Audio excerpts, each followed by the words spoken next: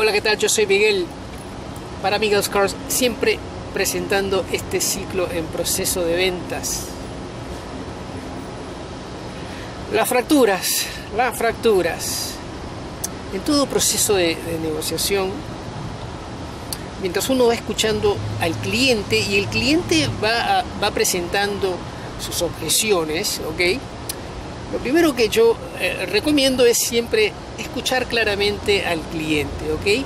Formular las preguntas de rigor, que todo vendedor ya las conoce, no las tengo que repetir, se las he descrito múltiples veces.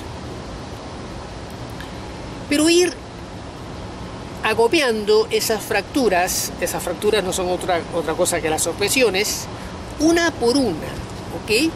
Y darle, eh, por supuesto, eh, la prioridad a cada objeción que merece de acuerdo a cómo transita la negociación, que no es otra cosa que el diálogo de esta transacción comercial con este cliente, ¿ok? Ahora bien, ¿por qué es importante ir, ir recogiendo esas fracturas? Cada vez que aparece una fractura en el proceso de negociación, el vendedor debe señalarla de tal manera que al llegar a la, a la, a la fase final, de la negociación, esa fractura tiene que haber sido resuelta. ¿Ok? Ahora bien, en un proceso de negociación generalmente nos encontramos con 2, 3, 4, 5 y a veces hasta 10 fracturas. ¿Ok? ¿Qué es lo que sucede? Supongamos que se tratara de un embudo. ¿Ok? Un embudo. En este momento se da el encuentro, se da el greeting, se da la presentación del producto. Eh, eh, se, saluda al cliente, eh, se habla un poco de lo que está aconteciendo, pero pasamos directamente después de la presentación del producto, ya empiezan las primeras objeciones, el cliente eh, se, se, muestra medio eh, eh a, querer este, comprar el producto y uno empieza a descubrir que existirían ciertas fracturas, ciertas fracturas estas fracturas hay que irlas aislando una por una. ¿Por qué? Porque si no las aislamos, no vamos a estar en capacidad de reconocerlas, ¿ok? Las fracturas que aparezcan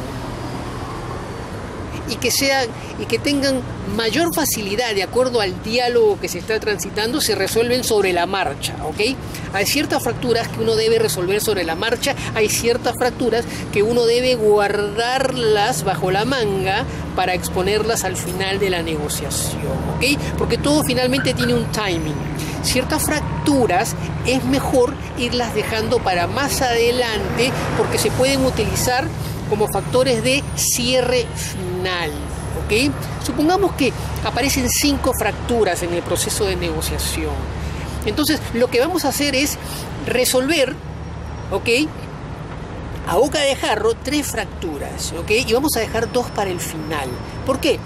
Porque si nosotros liquidamos tres fracturas desde el vamos, ¿ok?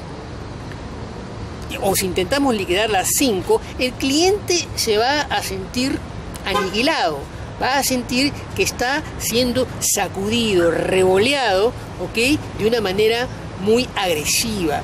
Por eso que hay que mantener cierta distancia y guardar cierta docilidad, ¿ok? Esa docilidad no es otra cosa que un proceso de empatía con el cliente para que el cliente no se sienta agobiado. Ahora bien, una vez que lo vamos llevando a la parte del cierre, le encajamos la cuarta fractura, ¿ok? Que no es otra cosa que absolver esa objeción para quedarnos con una sola.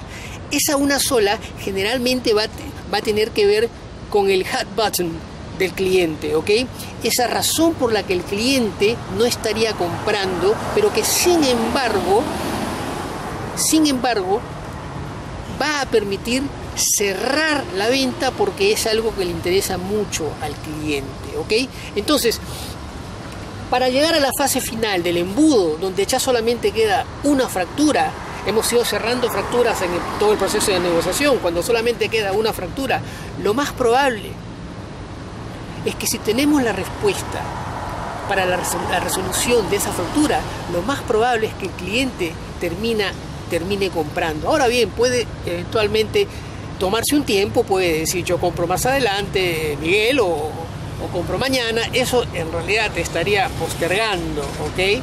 La venta, hay que tener mucho cuidado. Pero por lo menos que tú quedes satisfecho de que has hecho todo lo que estaba a tu alcance para colocar el producto o el servicio.